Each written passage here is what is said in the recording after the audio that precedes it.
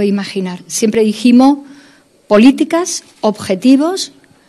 cronología de lo que es urgente y de lo que es menos urgente y compromiso de sacar adelante la política antes que nada.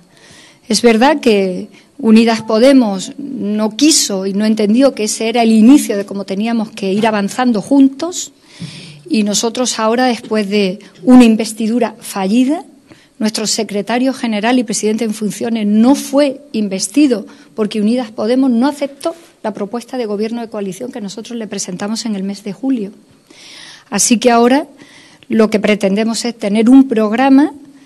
eh, político de envergadura suficiente para la estabilidad y la gobernabilidad de España. Nos interesa, obviamente, la investidura de nuestro presidente, la formación de gobierno,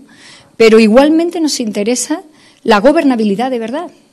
el día a día de sacar adelante las leyes, los objetivos políticos, los planes políticos, los presupuestos generales. Y cómo eso es verdaderamente lo que nos va a permitir tener cuatro años de estabilidad y cuatro años de garantía de que podemos presentarnos delante de los problemas que la gente tiene, volveremos a presentar un programa que ya no solamente será el programa electoral del Partido Socialista,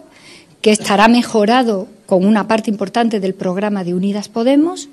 y que también estará muy mejorado por todas las reuniones que estamos haciendo directamente con los colectivos que representan la diversidad de nuestro país.